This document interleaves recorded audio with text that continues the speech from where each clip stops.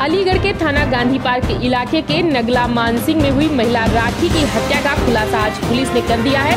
Police के मुताबिक आरोपित पति ने अवैध संबंधों के शक में उसकी निर्मम हत्या की थी, जिसमें उसने हत्या वक्त अपनी पत्नी के नाक कान काटने की घटना अंजाम दिया था। दरअसल मामला शहर के गांधी पार्क क्षेत्र के नगला मानसिंह का है। मजदूरी करने वाले अकराबाद के सुहावली गाँव के सुरेश चंद्र जाटव शहर में कमल सिंह के मकान में किराए पर रहते हैं। अपना घर भी भदेसी मोड़ के पास प्लॉट लेकर बनवा रहे हैं। कई बार सामान की देखरेख के लिए यही रुक भी जाते हैं।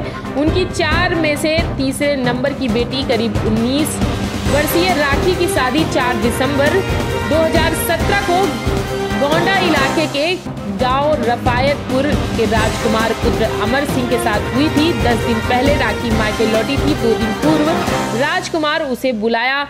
बुलाने आया बीते रविवार शाम राखी की माँ रूपवती देवी अपनी छोटी बेटी संतो के साथ पति सुरेश चंद को प्लाट पर खाना देने चली गई। इस बीच अचानक मौसम खराब हो गया और माँ बेटी भी प्लॉट में ही रुक गई।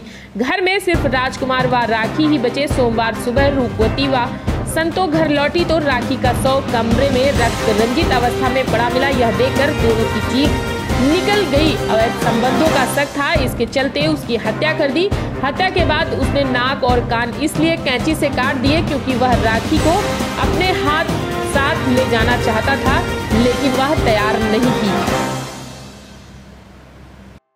ये तीन दिन पहले गांधी पार्क में एक महिला की बॉडी घर में मिली थी, जिसमें उसकी डेथ हुई थी और उसके नाक कान कटे थे।